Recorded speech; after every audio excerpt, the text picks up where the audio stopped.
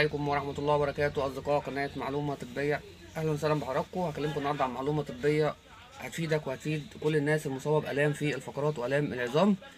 هكلمكم عن التهاب الأعصاب والتهاب عرق النسا خصوصا الناس اللي بتشتكي من ألم في أسفل الظهر وفي أسفل أحد الساقين آه، أنا أعرف الناس آه، أعرف إزاي اللي أنا عندي عرق نسا آه، طريقة بسيطة كده وسهلة. طبعا أنت تحس بوجع من ظهرك إلى أسفل القدمين.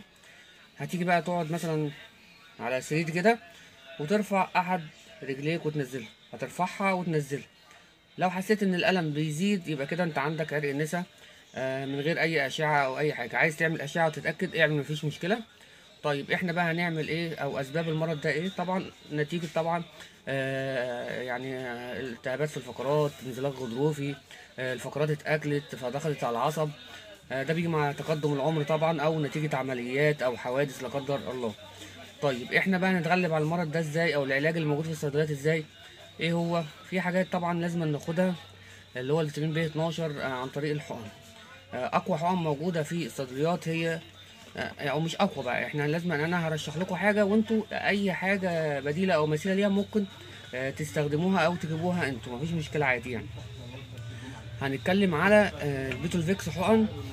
اللي هي الجاهزة ديت دلوقتي دي هي البيتولفيكس حقن.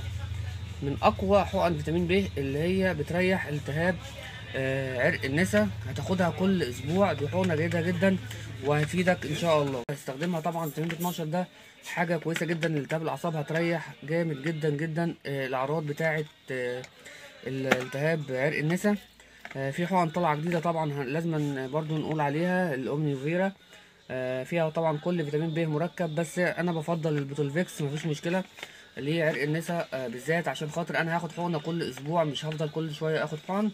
لو هتاخد اومنيفيرا أو مثلا ليفا بايون أو بايوفيت أو نيوروتون أو نيوروفيت دي بناخدها كل 3 أيام. دي هتسبب راحة كويسة جدا جدا. طيب أنا دلوقتي الألم شديد ولسه في البداية فعايز حاجة مسكنة عشان استريح طيب شوية عقبال لما الحقن تقوي العصب شوية.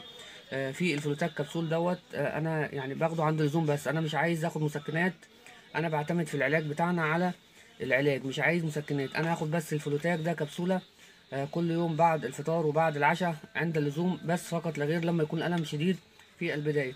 وممكن آخد كونفانتين كبسول اللي هو ال 300 ده حباية قبل النوم ولو الوزن قليل شوية ممكن ناخد منه تركيز المية. قبل النوم. آه، أنا كده اديتك العلاج الموجود في الصيدليات لعرق النسا. أنا عايز أعمل حاجة تانية. أنا مش مثلا مش عايز علاج. آه، أنا ممكن أعمل علاج طبيعي أعمل كمادات مية دافية على آه، أسفل الظهر. يعني في علاجات كتيرة موجودة في يعني ممكن أبعد عن المسببات لهذا المرض. زي الناس اللي بتقعد على في المكاتب على كرسي مثلا فترة طويلة.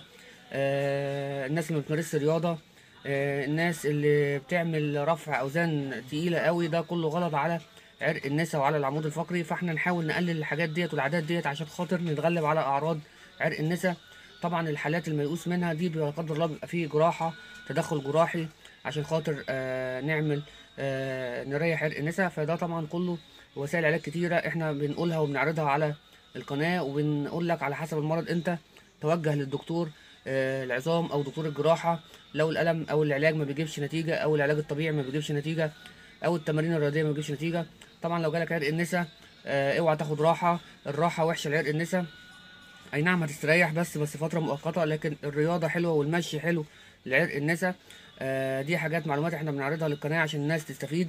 آه انت لو استفدت معانا في ال- الفيديو آه ما تنساش تعمل like وتعمل share للفيديو عشان خاطر الناس كلها تستفيد. عايزين اشتراك في القناة عايزين القناة توصل لأكبر عدد ممكن في مصر وبره مصر وفي كل مكان في العالم. معاكم دكتور حسام والسلام عليكم ورحمة الله وبركاته.